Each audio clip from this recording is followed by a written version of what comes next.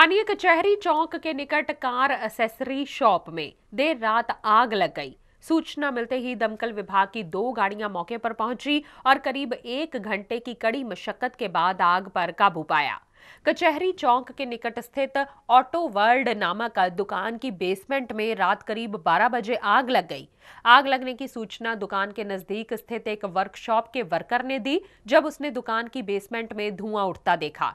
उसने तुरंत दुकान मालिक को इस बात की सूचना दी, जिसके बाद दुकान मालिक शैम्पी निवासी वडाला चौक व पड़ोसी दुकानदार अरुण बांसल मौके पर पहुँचे, जिसके बाद उन्होंने कंट्रोल रूम पर फ़ोन कर फायर ब्रिगेड को मौके पर बुलाया।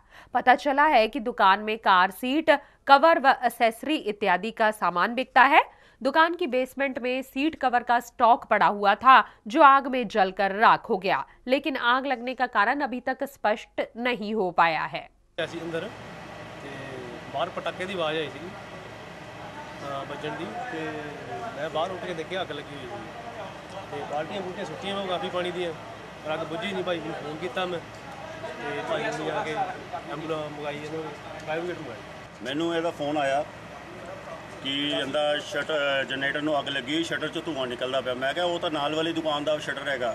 ਕਹਿੰਦਾ, ਭਾਜੀ, ਉਹਨਾਂ ਦਾ ਨੰਬਰ ਦਿਓ। ਮੈਂ ਇਹਨੂੰ ਨੰਬਰ ਦਿੱਤਾ, ਪਰ ਉਹਦਾ ਸਵਿਚ ਆਫ ਜਾਂਦਾ ਸੀ। ਉਹਦੇ ਬ੍ਰਦਰ ਨੂੰ ਮੈਂ ਫੋਨ ਕੀਤਾ।